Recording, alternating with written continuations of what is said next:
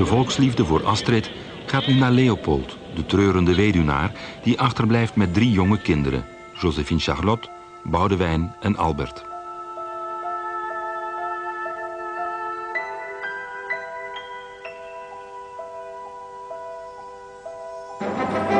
Tussen 1935 en 1940 brengt de koning acht officiële bezoeken aan de provincie West-Vlaanderen.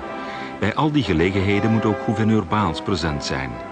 Soms is zijn vrouw er ook bij, soms een van zijn dochters. Misschien is Lilian bij een van die gelegenheden aan Leopold voorgesteld.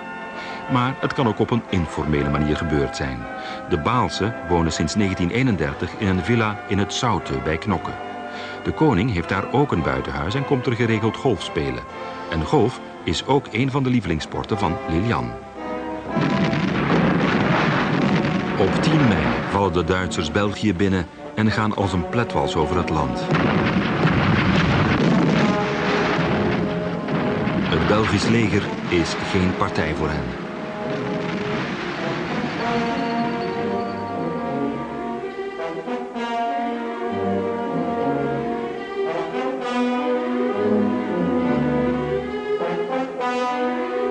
Hendrik Baals is in Brugge. Als gouverneur moet hij op post blijven.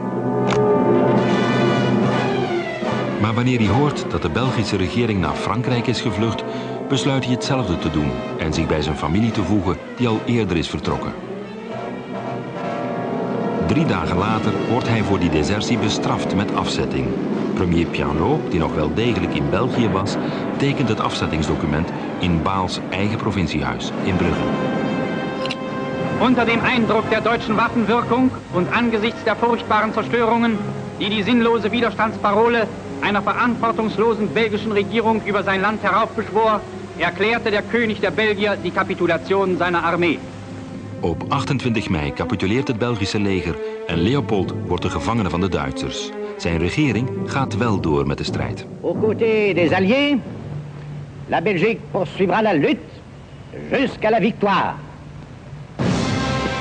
Leopold mag zich terug in zijn paleis in Laken vestigen, maar wordt daar in al zijn doen en laten gecontroleerd. Voor veel Belgen is deze verliezer de echte oorlogsheld, omdat hij een bloedbad onder zijn soldaten heeft voorkomen en hun lot als krijgsgevangene wil delen. Maar Leopold is geen gewone gevangene. De Duitsers staan toe dat hij geregeld geheime uitstapjes maakt, vaak in vrouwelijk gezelschap. Dat weten we uit de naoorlogse verhoren van zijn Duitse bewakers. Die PV's die leren ons dat wanneer Leopold dat vroeg, hij uitstappen mocht maken naar Knokken, bijvoorbeeld, naar vakantie. Men zegt zelfs naar Parijs, dat beweert de man, daar heb ik verder geen bewijzen van. Naar Chiernot, naar het buitengoed in Ardennen.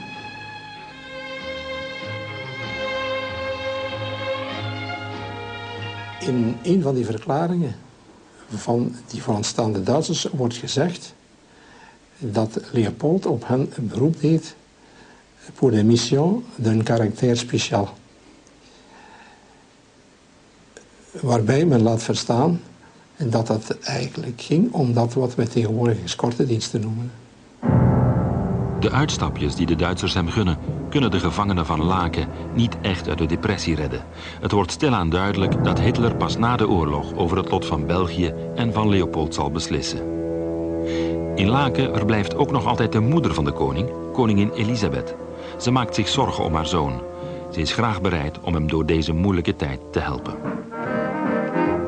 In de loop van januari 1941 maakt haar chauffeur een reis naar het zuiden van Frankrijk, naar de badplaats Anglais.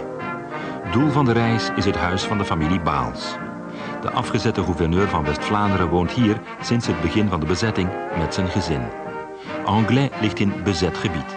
Reizen kan hier alleen met toestemming van de Duitsers.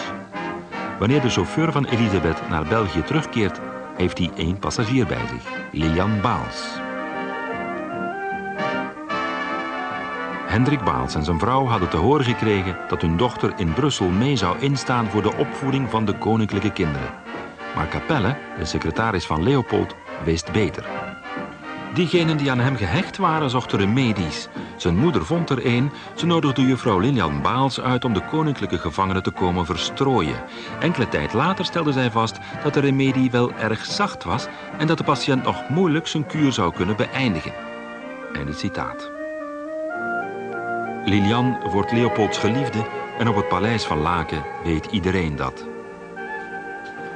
Heel snel maakt Lilian Baals van haar situatie gebruik om Leopold tot een onrechtmatige vriendendienst te bewegen.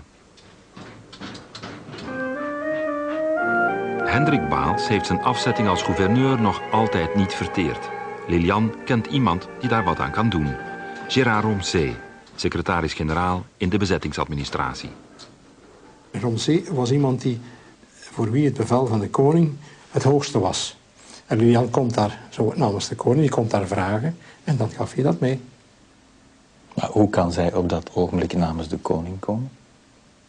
Ik vermoed, uh, en uh, dat kan bijna niet anders, als dat Romsey eigenlijk op de hoogte was. Dat hij wist wat er bezig was. Roncé doet meer dan alleen het administratieve dossier meegeven. Roncé heeft nadien ook nog als secretaris-generaal beslissingen genomen waarbij als ter beschikking werd gesteld. De beschikking gesteld, dat wil zeggen, je hebt voorlopig geen werk, maar je blijft verder in dienst. En je krijgt ook je wedden en je achterstallen en dergelijke meer. Dat is dus allemaal gebeurd. Dat is iets wat men de familie Baas na de oorlog ook vreselijk kwalijk genomen heeft. Want Ramsey was in de collaboratie terechtgekomen en is daar nadien ook voor gestraft geworden. Lilian gebruikt haar relatie niet alleen om voor haar familie te zorgen. Ze denkt ook aan zichzelf. Ze stuurt aan op een huwelijk. Ze heeft daarbij de steun van een aantal machtige figuren, onder wie kardinaal van Roei, die geregeld te gast is in Laken.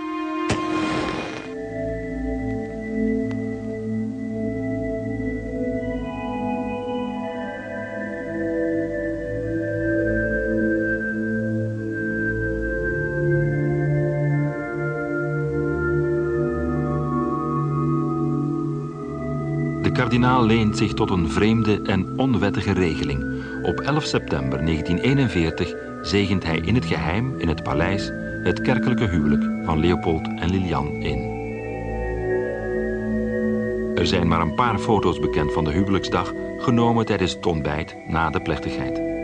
Behalve de directe betrokkenen is niemand op de hoogte gebracht.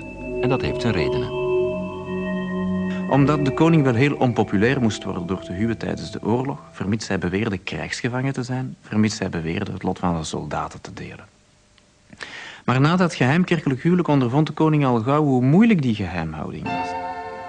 Geheim huwelijk of niet, bezettingstijd of niet, het pasgetrouwde paar gaat op huwelijksreis naar Oostenrijk.